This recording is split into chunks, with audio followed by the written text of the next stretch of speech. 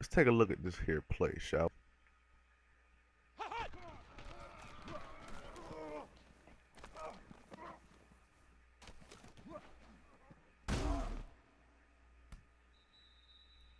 What the fuck was that? I'm here playing my offline connected careers with the Seattle Seahawks, right?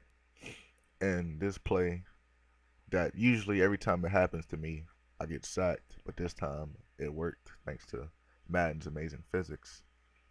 As you can see, I hiked the ball, not the scramble to the right, but amazingly, Russell's foot gets caught on the lineman's leg, and then as he can as he trips over, he bounces off another and goes into these two engaged football players. And normally this is the part where I would usually get sacked, but amazingly, Russell manages to weasel himself out of that.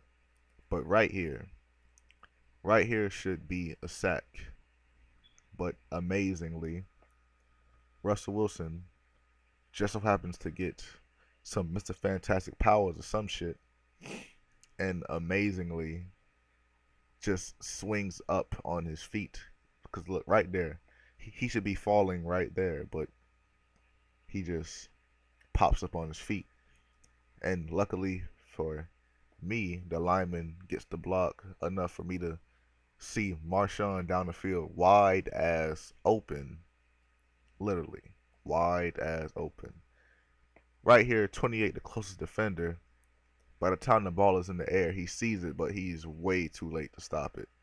Because Marshawn is already down the field, catches the ball, boom, six points.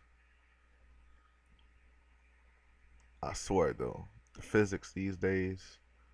Oh, oh, where's the ball? Where's the ball? Come on, replay. Give me the ball. Give me the ball.